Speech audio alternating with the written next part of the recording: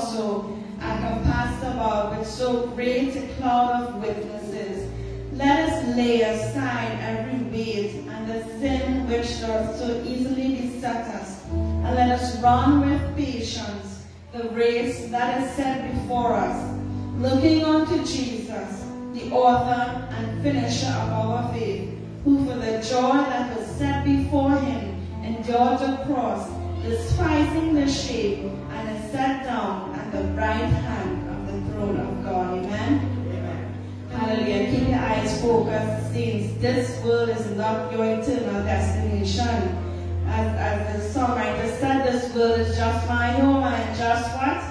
Passing through. Heaven is our home. So don't get our roots dug too deep and don't feel too much despair when you hear about wars, rumors of wars and pestilences, sicknesses and diseases. Look up for your redemption. Drawing nigh. Hallelujah. Please join me in the hymnals, Psalm 482, when the roll is called up yonder.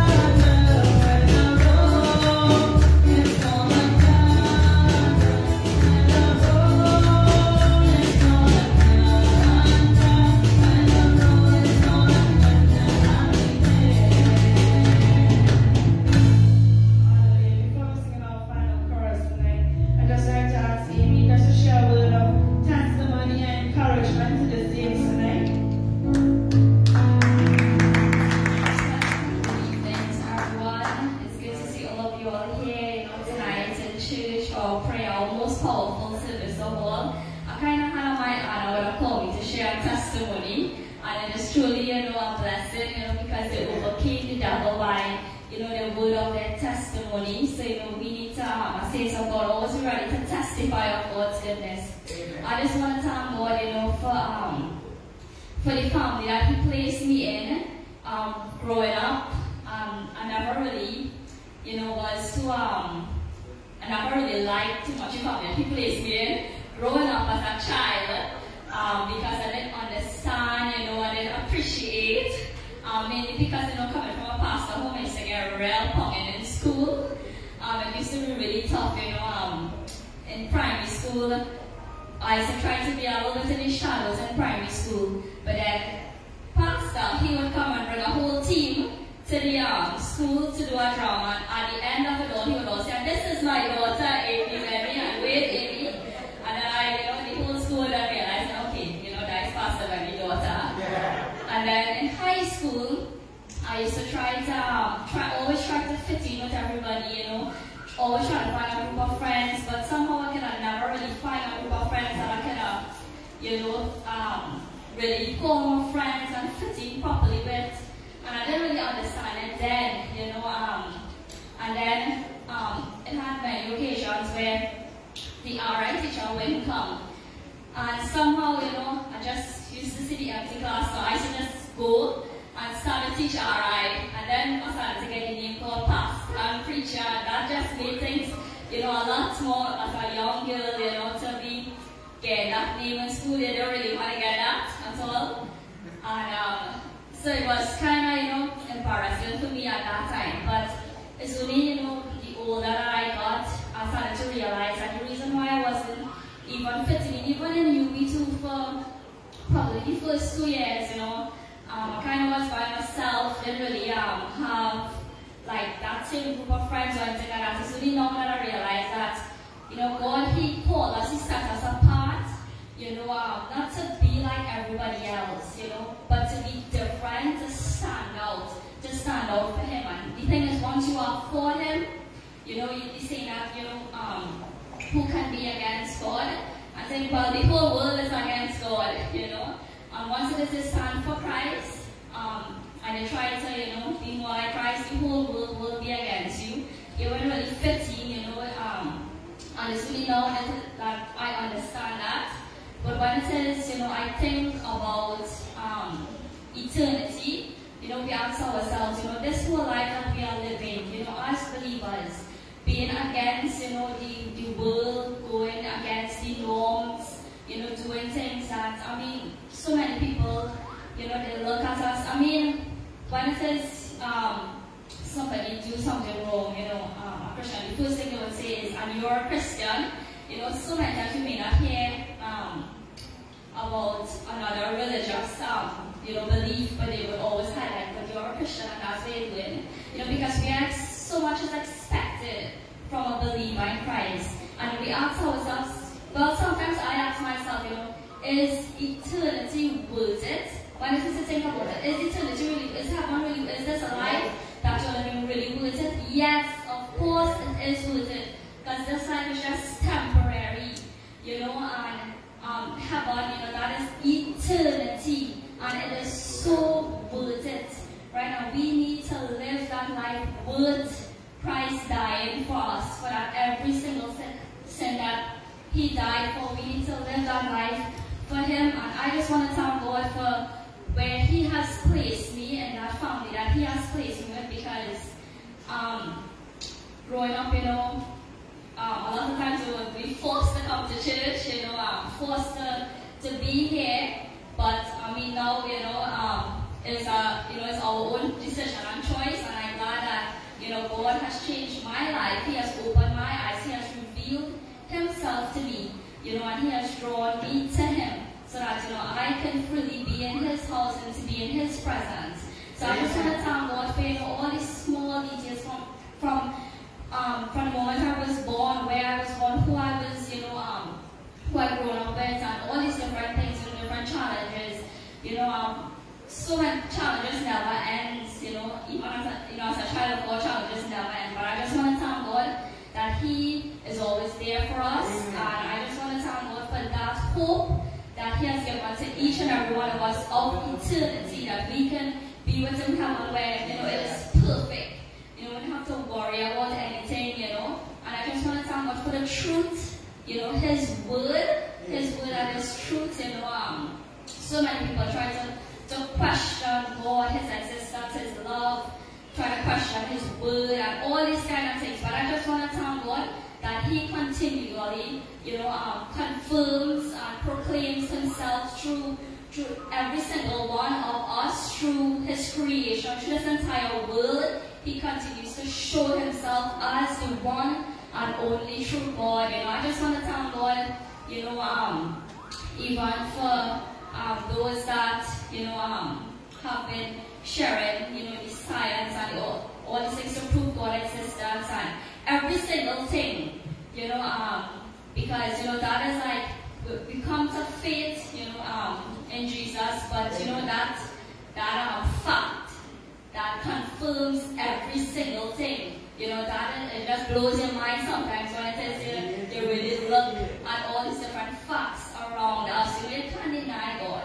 You cannot deny God. There is a God and there is a heaven and that God loves each and every one of us. He cares for us and He wants each and every one of us to be with Him in heaven. So I just want to thank God for that hope and for His love and for all that He has done. Amen.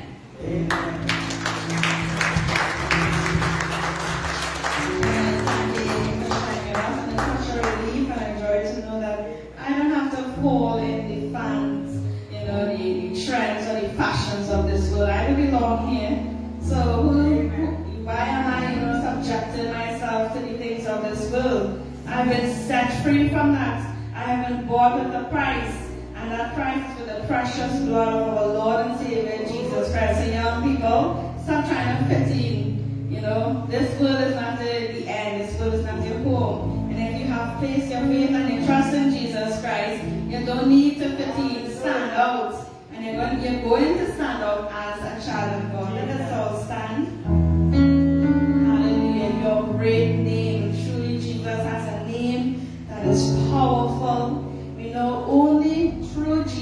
Christ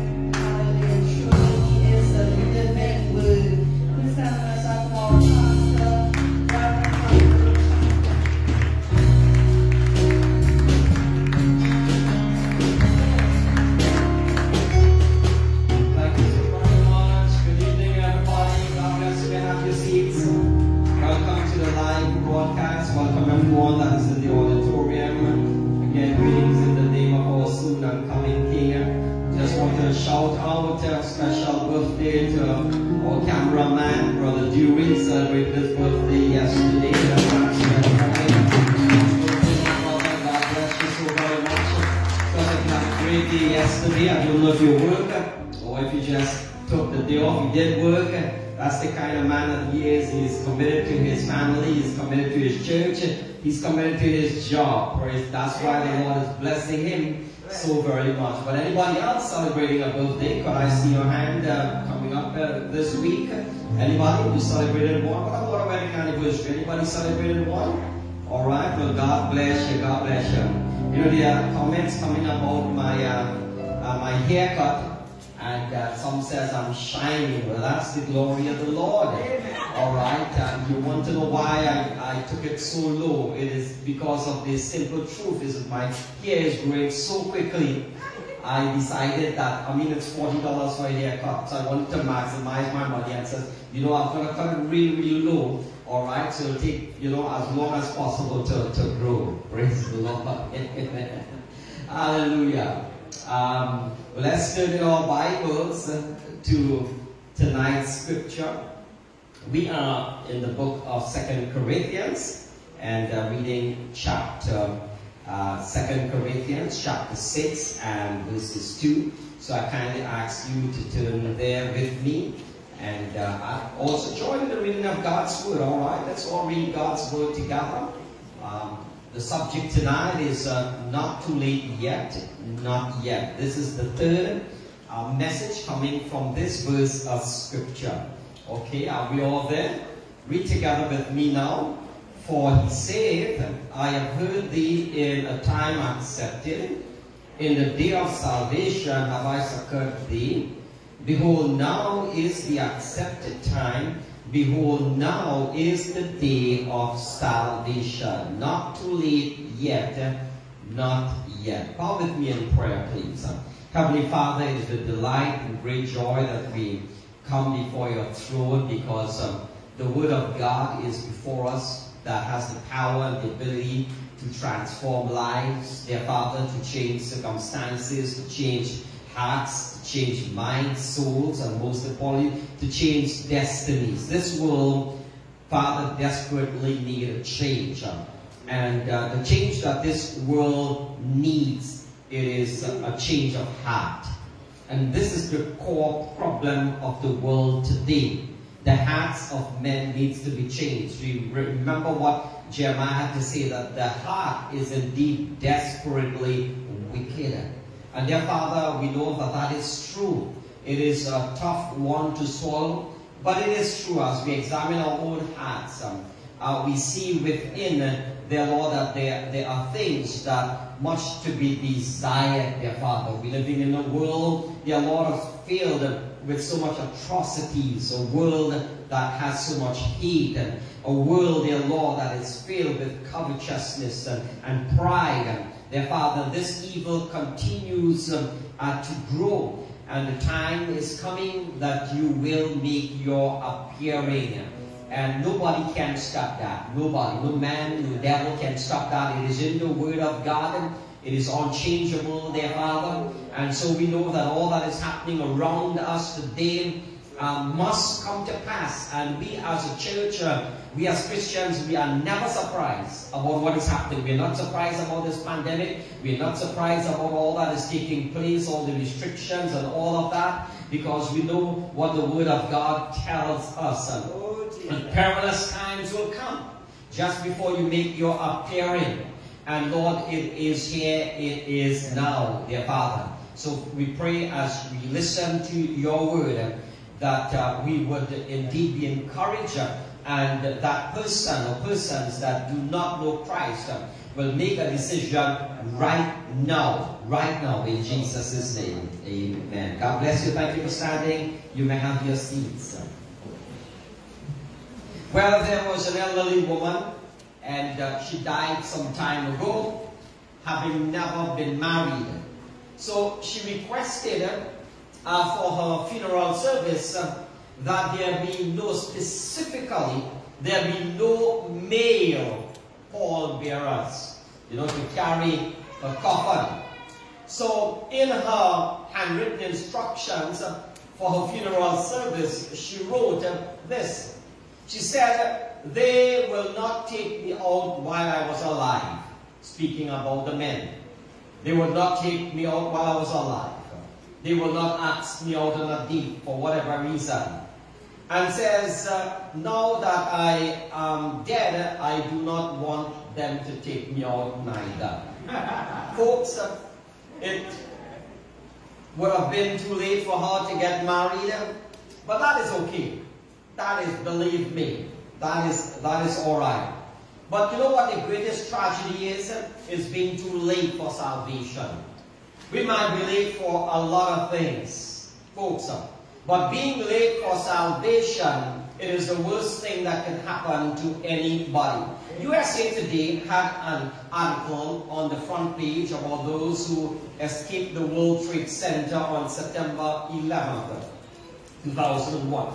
And after interviewing over 300 survivors and family members of victims, the USA Today concluded that in the South Tower, those who did not delay but ran immediately are the ones who survived.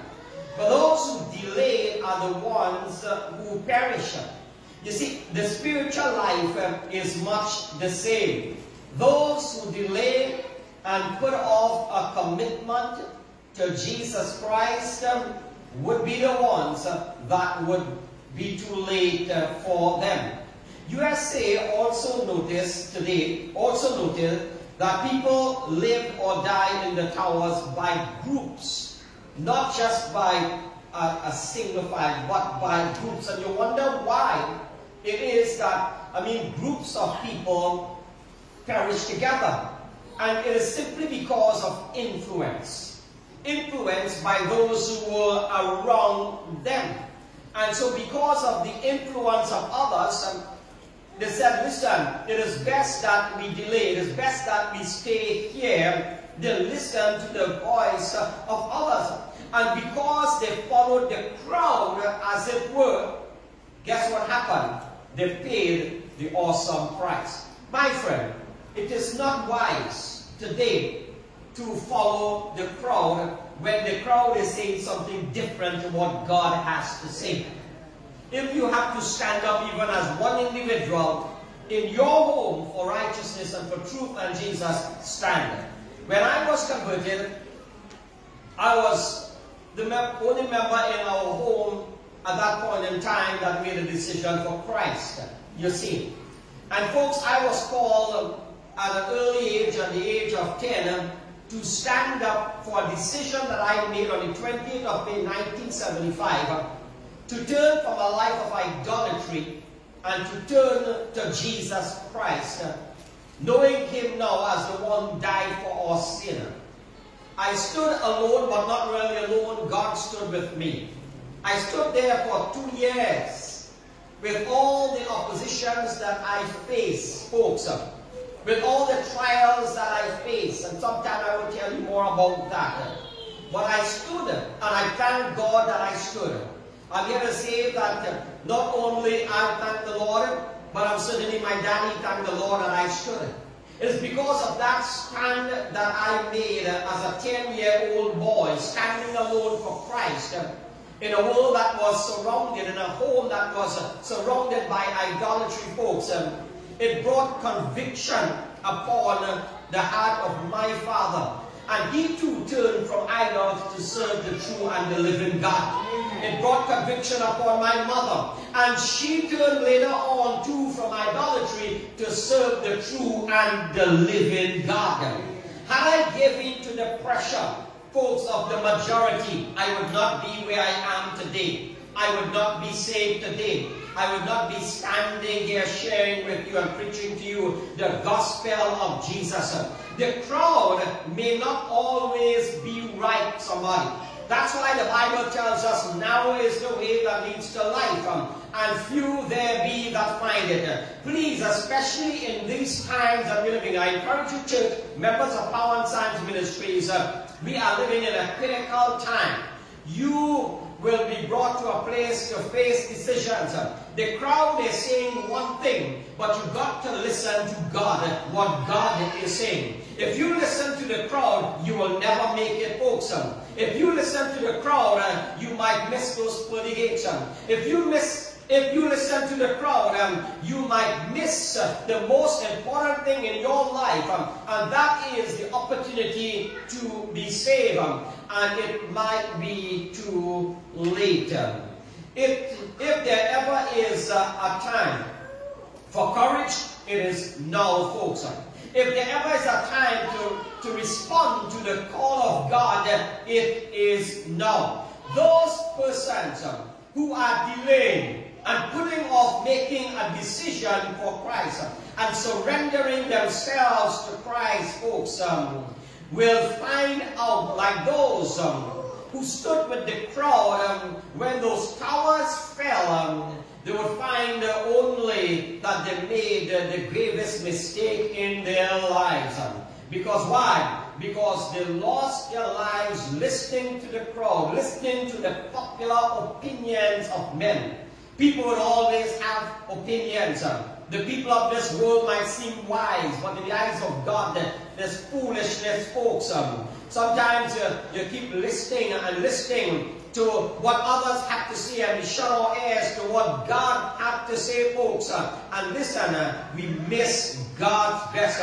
Now it's time to stand up for righteousness. Um. Now it's time to stand up for Jesus. Um. Now it's time to stand up for holiness. Um. Now it's time to take your side with the Bible. Now it's time to take your side with Christ and His church and not with the world, somebody. This world is heading on a fast path of destruction, um, of no return. Um. And understand that you have to decide who is on the Lord's side. Um. If you're on the Lord's side, can I hear amen tonight? Amen. Hallelujah. If you're for the cross, can I hear amen? amen. If you're for the blood, can I hear amen? amen. If you're for Jesus Christ of Nazareth, can I hear amen? amen. Praise the name of Jesus.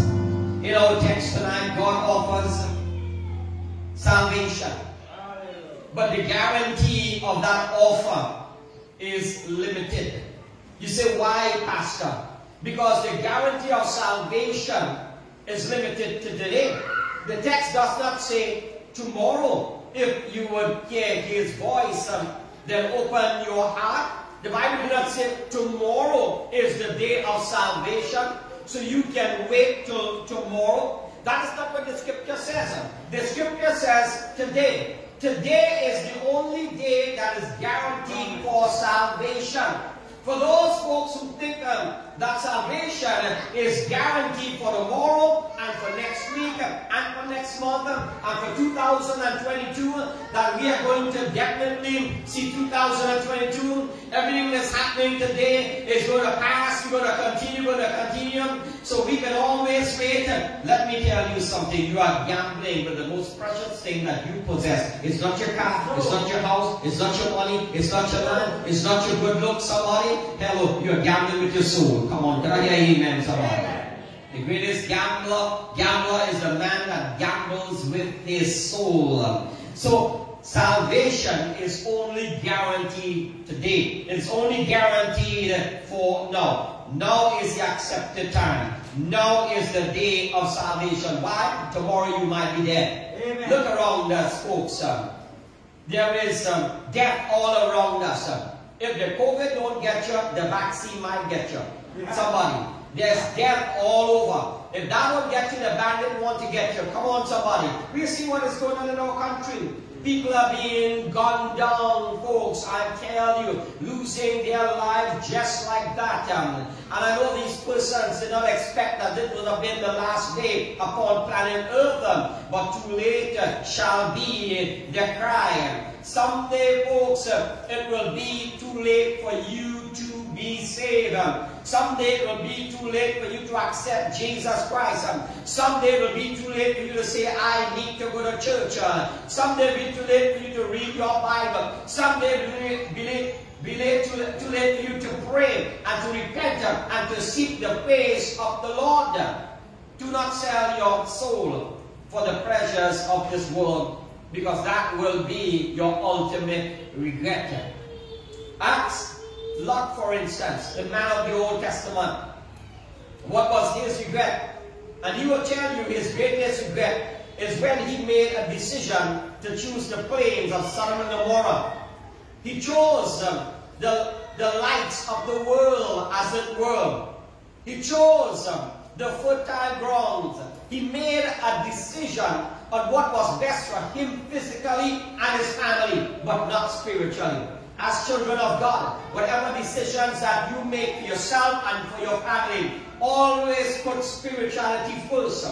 Number one in your life, whenever you have to make that decision, folks, if you have to lose out on money, so let it be. If you have to lose out on a job, so let it be. If you have to lose out on fame, so let it be. If you have to lose out on power, so let it be. If you have to lose out on some opportunity in this world to become a so-called success, and so let it be. It is better, folks, um, that you lose out on this world than you lose out on heaven. Can I hear amen? Because it will not do you good, any good in eternity. Do you think Sodom and Gomorrah did Lot and his family and his wife any good in eternity? Ask yourself this question, folks. Um, with all that he had sold out for, it, it disappointed him.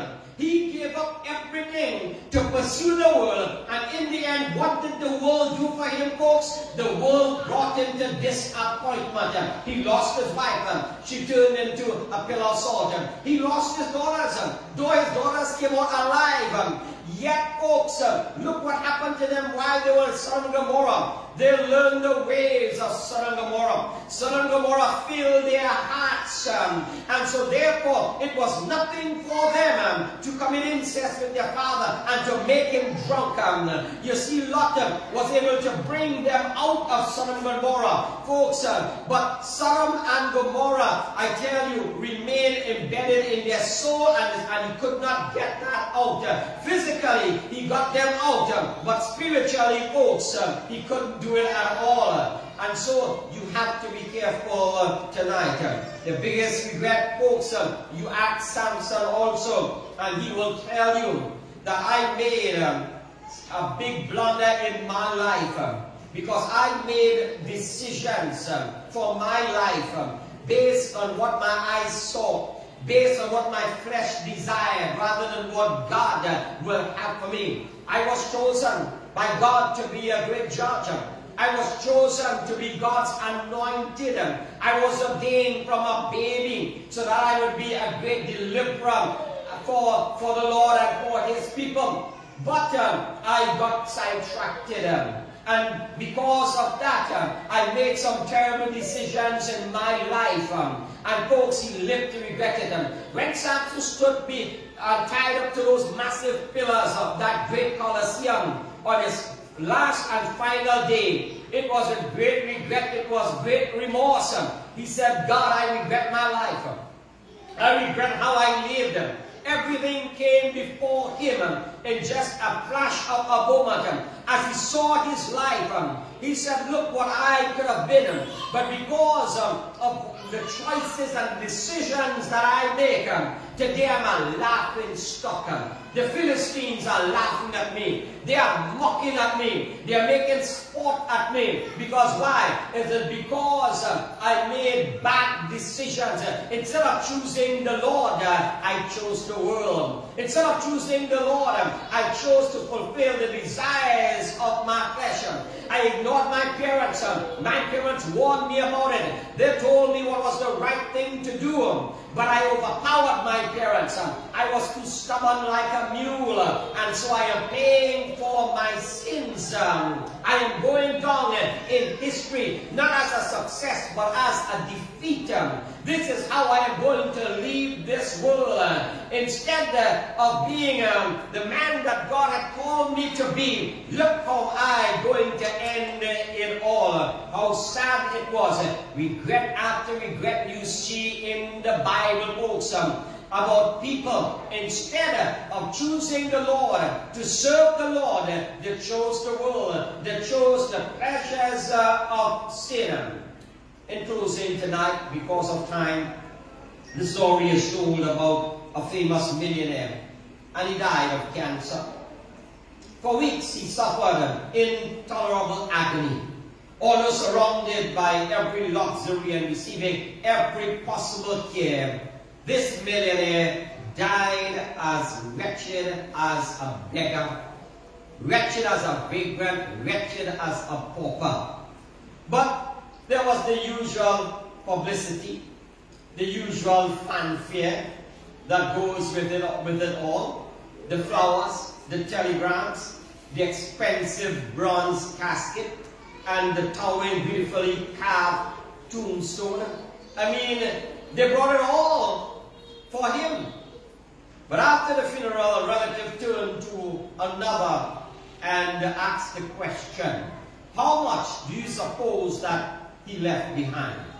How much do you suppose that he left behind? And he was expecting to receive an answer about how much money he left behind, how much land he left behind, the big house he left behind, the fine cars, and so forth.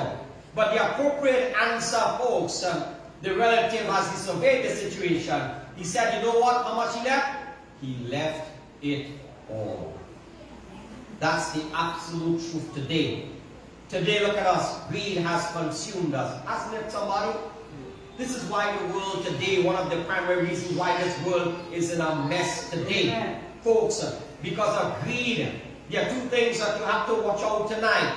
You have to watch out for the greed of money, and you have to watch out for the greed of power. And you will see that every time there is a downfall, you will see folks uh, that is right there between those, those two. This is where the world has come today. It is never, never, never enough. It doesn't matter how much money that you might accumulate in your lifetime, folks. I want to tell you the absolute truth. It is never enough. If you say right now, if I would have a million dollars just because you don't have it, you are just putting a number, if I have a million dollars, I will be happy.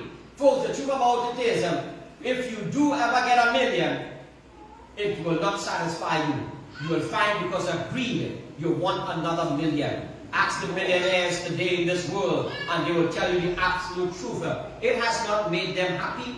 It has not brought joy and contentment. No, it has only brought a desire to want more and to have more. This, folks, is what the power of wealth can do.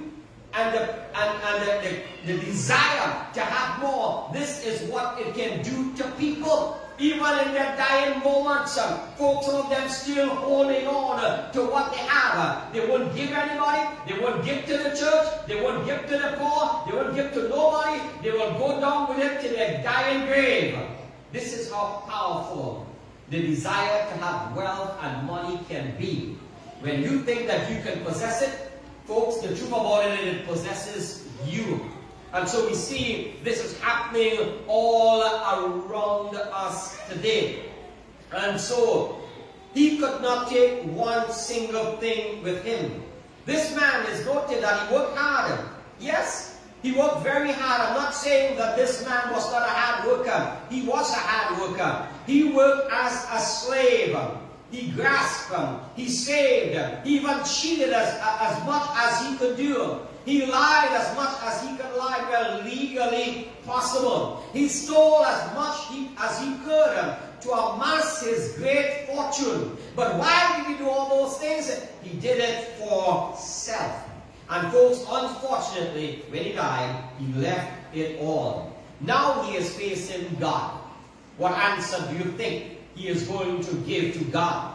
What answer do you think those um, who have rejected Jesus Christ, have rejected salvation because they pursued money and they pursued the wealth of this world and the power of this world? They had no time for God. They had no time for church.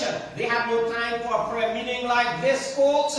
They had no time for spiritual things. No. What answer do you possibly think that they could give to God on the day of judgment? I wonder, folks, what they are going to say. But I want to say to you, I think uh, they are going to be speechless.